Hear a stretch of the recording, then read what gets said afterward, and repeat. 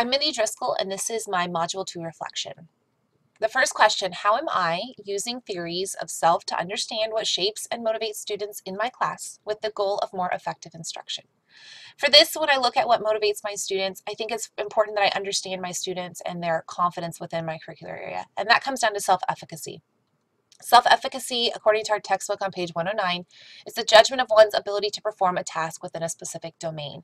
I always have to handle this situation where I have students who come in and say, well, I just am not good at history or I don't like history and therefore I'm going to get a bad grade in this class. It's like they've already decided that they can't do well.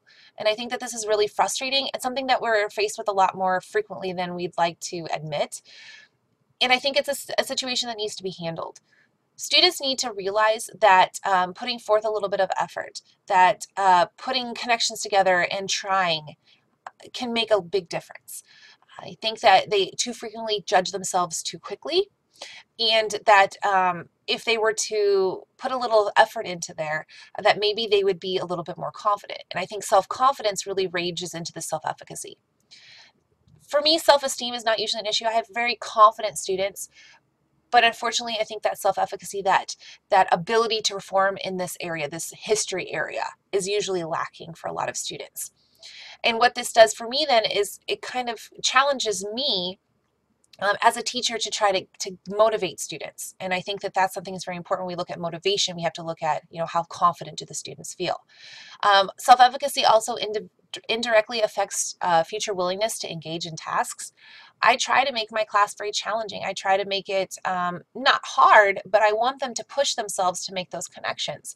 And if students don't feel confident in history or they, they just don't think that they can do it, then obviously they're not going to try something that's extremely challenging. You know, um, history isn't always easy, especially when we look at po political trends and economic things. And so if students are not feeling very confident, then they're not necessarily going to be willing to try something. And unfortunately, then if they don't try it, then they lose points for those things or um, they check out on it when they could be finding out some very valuable information. Uh, efficacy also improves performance and strategy use. So students who come in with a strong self-efficacy, that they feel confident in their ability to perform in the domain, in my case history, uh, that they are going to improve in their performance and they're going to improve in their strategy use.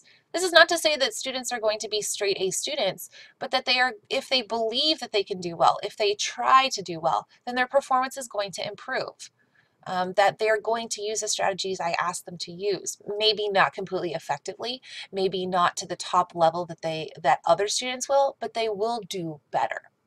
I think that part of self-efficacy is also attached to teacher efficacy. Students need to see that I, as a teacher, am willing to work and be challenged. Teacher efficacy, to me, is kind of like this constant push for self-improvement as a teacher, knowing that I am never done learning how to be a better teacher. Um, the textbook talks about the fact that you know teachers who are too confident have a very uh, poor teacher efficacy because they're not willing to realize change.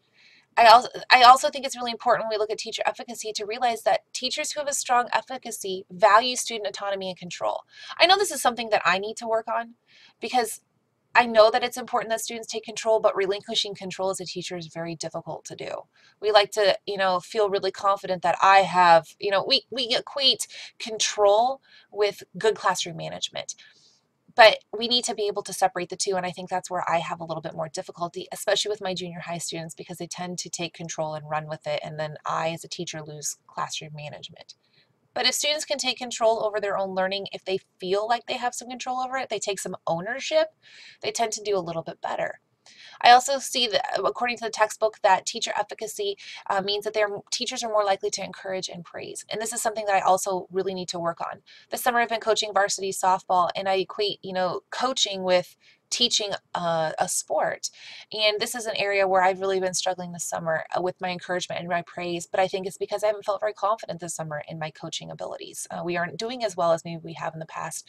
Um, but at the same time, a teacher who realizes that they're struggling is a teacher who maybe uh, is ready for that change to happen. Also, when we look at student motivation and student success, we need to look at attribution theory. And I think the attribution theory really helps us recognize that students are individuals. In our textbook on page 116, it talks about attribution theory being the framework for understanding why people respond so differently to the same outcome.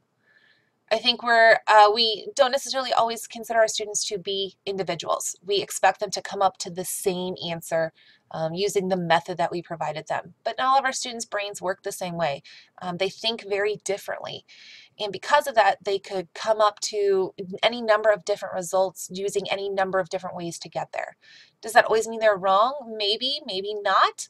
But it's really important for us to understand that our students are different, that they will respond differently, and that we need to encourage that differentiation, uh, the, the differences between our students, um, and, and try to uh, help them maybe if they're not reaching it properly to find that right direction using um, kind of their methods of thinking. In order to help students kind of take control over this and to be more motivated, um, autonomy is really important.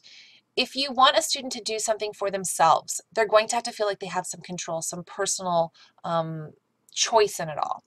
And I think when we look at uh, what autonomy, it really comes down to intrinsic and extrinsic motivation. If you have strong autonomy, you've got strong intrinsic motivation, strong personal motivation. You want to do well just because you want to do well. But unfortunately, I think today um, we would be really lucky to find a whole class of students who are intrinsically motivated. And I know it would make our jobs a lot simpler, but unfortunately, they're extrinsically motivated. They want those external rewards, the extra credit, the free days, the party days. And those are some things that I try to stay away from. In fact, I don't even offer extra credit because I tell them if you've done it the first time, then there shouldn't be a reason to need it for the um, later down the road. So I think if we eliminate the extrinsic side of it, we've also at the same time though have to find ways to intrinsically motivate our students. In order to help our students to, to gain personal control, it's important to give them student choice um, maybe not a choice in what they learn, but how they learn. The projects, the activities, the um, choices and the types of assignments that they do, uh, the ways that they're assessed, some different things like that. We also need to scrutinize teacher and student expectations. Excuse me. Um, we need to analyze ourselves. What do, me, what do I as the teacher hope to get out of it? What do the students hope to get out of it? And find some compromising ground between. Um, minimizing the extrinsic side of the rewards, uh, making sure things are criteria based in evaluation, uh, making sure that we know exactly what's expected, providing rubrics or checklists, and then also providing intrinsic motivation, helping those students realize that they um, they need to do it for themselves, not to get the the external reward. The second question, how can I use theories of creativity and problem solving to make my instruction more problem focused and authentic? This is something that I've been trying to do even more lately um, with history is making it more problem based, having students get in their hands on uh, and experiencing history and then connecting it to today. Uh, with this whole side of um, problem solving, I think problem solving really centers on thinking, creativity, thinking.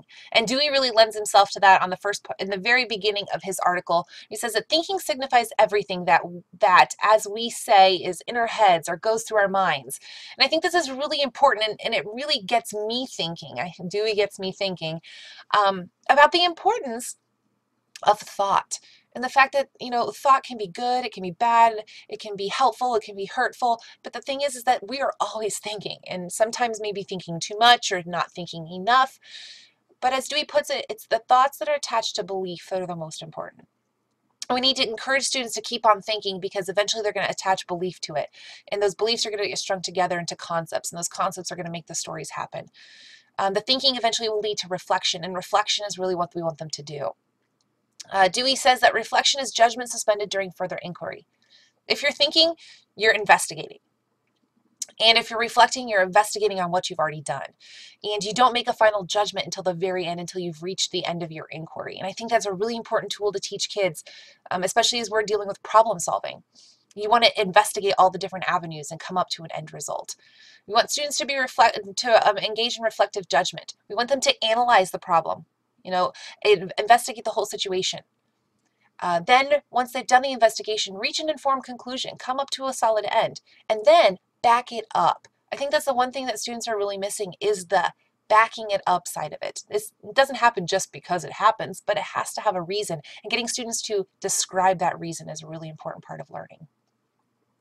With problem solving, I think a really big part of what hit me with problem solving is what was mentioned in the lecture about the fact of what can you do with facts? For me, history is all sorts of facts. I teach them facts about what has already happened. But facts are more than memorizing. Facts are just the tools in making in making a, a full story. I want students to pick out the important piece of information, then string it together into a big concepts, into a big concept.